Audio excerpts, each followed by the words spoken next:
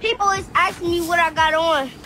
They be like, hey, Brandon, what you got on? Don't worry about it. Don't worry about it, sweetheart. Don't worry about it, sweetheart. Invis is everything braces isn't. More comfortable, fewer emergency appointments. Invisalign.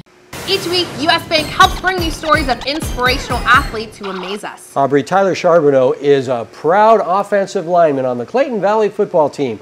A scary injury his freshman year nearly ended his football career, but Tyler would have none of that.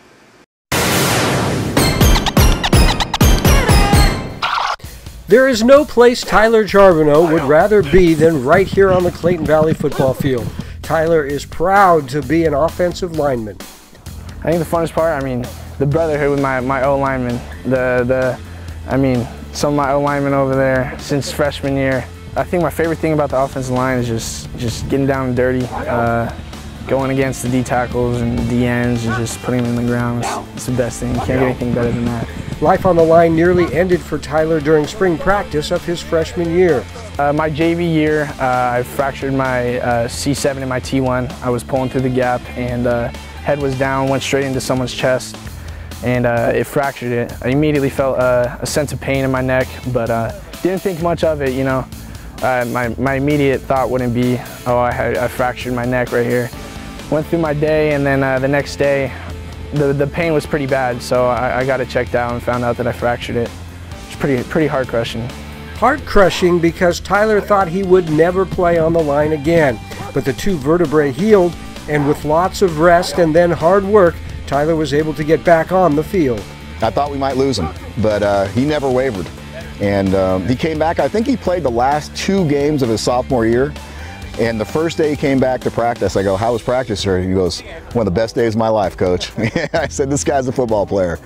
I think the, the main reason, like my thought process was just the love, uh, the love for the game of football.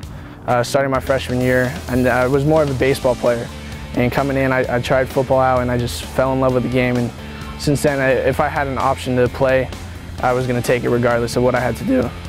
After getting cleared to play, Tyler earned his spot as the starter on the vaunted Clayton Valley offensive line. The Ugly Eagles are well known for their running game, which makes the job of the offensive lineman even more crucial.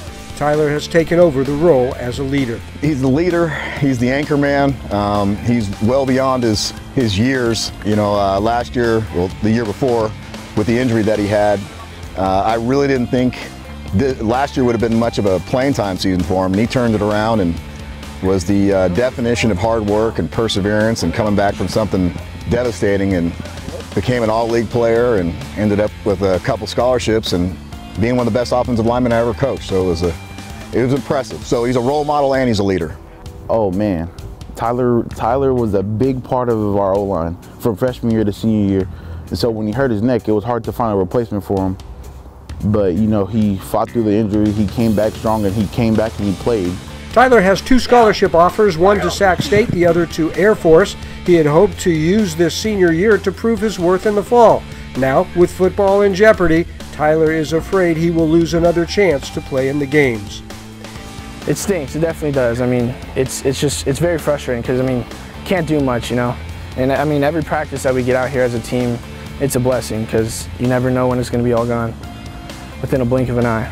In the meantime, Tyler and the Ugly Eagles get ready to play. Tyler hoping to end his senior season with game time on this new Clayton Valley field.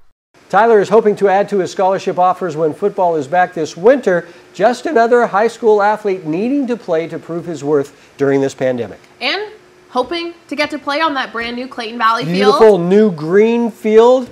Out with the black. Out no more black. black. I know some people really like the black. I like. I like. But the green is nice. All right. Thank you, Robert.